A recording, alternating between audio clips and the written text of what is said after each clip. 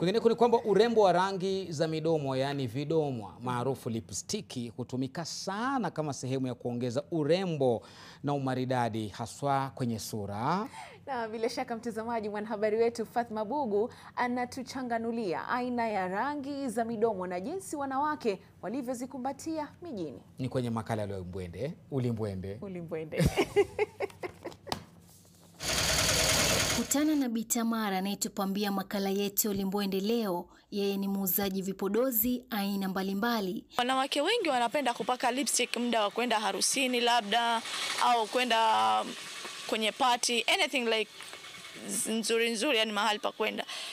Na pia lipstick ni nzuri ikiwa mtu amepaka na akapendeza. Ni kitu yenye ambayo we mwenyewe pia ukinunua utakaa nayo kwa muda, na ni kitu ambayo utasikia raha wakati watumia. Aina hii ya vipodozi inakuja katika sampuli na rangi tofauti, japo maarufu zaidi ni zile nyekundu, ila vipo vidomo ambavyo ungarisha mdomo kwa mnato usiokuwa na rangi yoyote. Si machishi, lakini sana sana mimi ni mtu napenda red. siwajua unajua watu weupe sisi ni watu wa lipstick za red, yeah.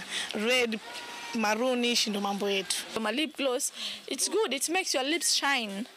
Mwanamume pia anang'ara bwana, si wanawake peke yake. Ziko aina nyingi zisizochanganyika na maji, yani waterproof kwa kimombo, za majimaji, za mafuta na kadhalika kavu. Baadhi hubambuka wakati ukila, ilhali nyingine hudumu angalau saa ishirini na nne. Kuna lipstick yaitwa long lasting, na hiyo lipstick ni almost 2000 tuna import from Turkey.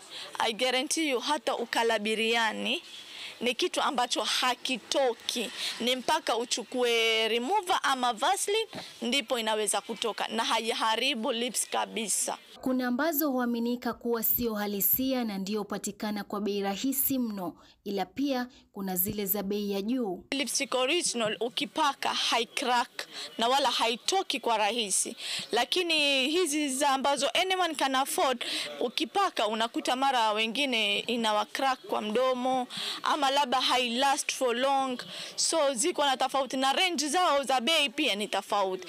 Either hizi ambazo anyone can afford unapata hata shilingi mia, but ile yenye ambayo original unapata labda ni 1000 2000. Japo urembo wa upakaji lipstick umekumbatiwa na wanawake na baadhi ya wanaume, kuna wale ambao wana mtazamo tofauti. Ni lipstick kupaki kidogo, kuna ile lipstick shining over mpaka yani ukisimama kule unaonekana luminous, unaona midomo imetoka kama Mbona ujipaka lipstick na wewe kama unajua wewe ni mzuri, wewe ni mzuri tayari, so sioni kama lipstick ukipaka itakuongeza ule uzuri. Umeichagua na kesho nikienda patini nitaulizwa lipstick umeinunua wapi, kwa sababu ni nzuri, itakuwa imenikaa kwenye mdomo. Ama kweli, heri mtu agharamike zaidi, lakini upate bidhaa bora na salama kwako.